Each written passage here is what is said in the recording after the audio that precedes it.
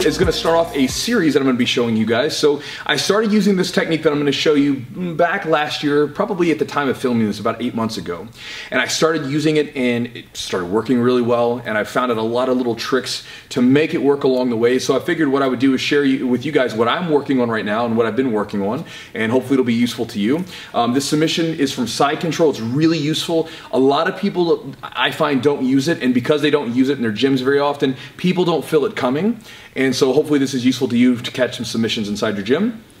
Adam's back. He was away for a little bit, but he's back. So, as always, my lovely assistant, Mr. Adam Wilson. Let's get started. I showed this move earlier last year uh, in no gi, but there's a few details that I want to show in the gi and a few more details that I've learned along the way. And so I'm going to show you the move, what it looks like, and then we're going to break it down together. So here's what it looks like.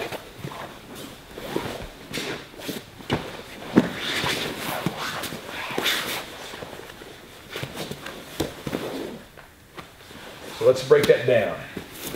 So we're gonna begin in side control. So we're starting in side control here, right? Normal position.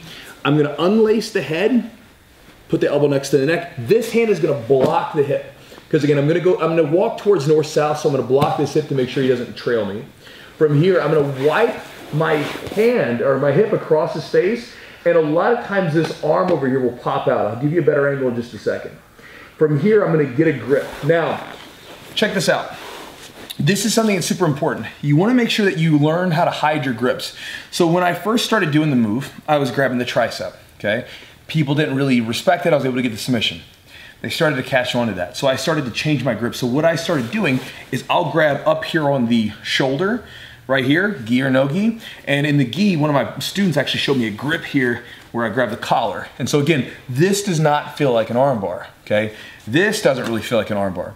So they don't really, it, it just doesn't send off the same red flags. Whereas if I grab here, that feels like an armbar. And again, this move's a little sneaky in the first place because it doesn't attack the arm in the typical way. Like most arm bars from side control will start to grab the back of the arm. But the reality is, is if I grab like this, they feel, they pull back. So when we're grabbing this, this arm here, guys, something to try is getting your hand snug up under the shoulder, okay? Now, from here at this point, once I'm in this position, I'm gonna begin to attack the neck.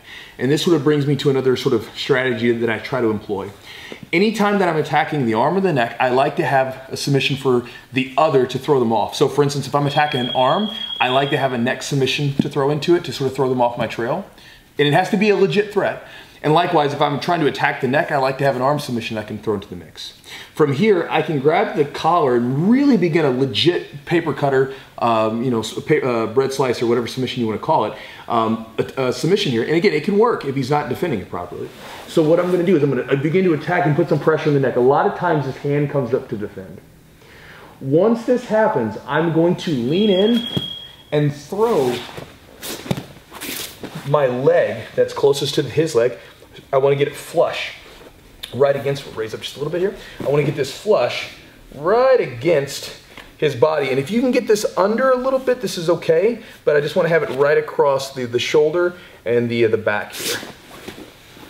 So I'm going here, attacking the paper cutter. He begins to defend. I'm gonna throw it in, and at the same time, I'm leaning my shoulder onto his body so it keeps him pressed down. Throw the leg in, and then swipe the foot, sit back, and then we go for the finish. Now, let's talk about this finish. It's a little different than a traditional armbar.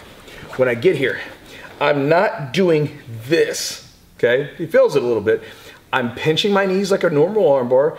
I'm gonna pinch my elbow really tight. Here's the difference. My body, I do a side, I'm gonna do it on the side so I don't hurt his arm. I'm gonna do like a, an oblique flex or oblique crunch, just right there. My hand is holding right above his elbow, so I'm cupping it so this way I can control the direction of his arm. If I don't do this, his arm can like wiggle around just like a regular armbar. We wanna control where that thumb's at, right? So from here, pinch, and again, what I'm talking about by the thumb is just like a regular armbar, I wanna know where that thumb is because depending on where the thumb is, I go opposite to the thumb, right? If for some reason if his thumb was facing this way, I would make it go this way, this way, this way. Same thing. Instead of controlling the wrist like a regular armbar, I'm controlling right above the elbow. Right now, his thumb is facing this way, so I would almost like sideways crunch into it. Get it? Let's take a look at it from another couple of angles to help you guys out. Here, we're in side control. Unlacing the head, we're gonna block that hip, because if I don't block that hip and I try to walk around, we'll start doing this. So we block the hip to keep him where he's at. I walk, walk, walk, and drop. Cup the shoulder.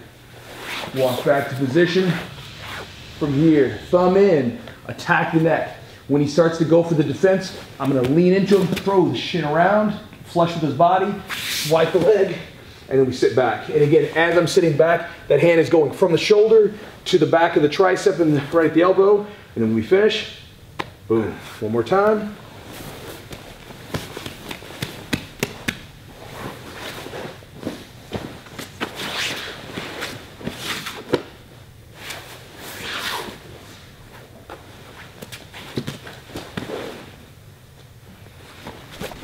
Try that armbar out. Hopefully you'll get a few submissions with it. And then next week, I'm gonna show you guys a continuation from this move and we'll get into sort of an idea of how to find the submissions in unpredictable ways. And I'll kind of show you how I do it and how I make this thing happen. But again, try this out, use it, see how it works for you. And then I'll see you guys next week with a really nifty setup from back mount.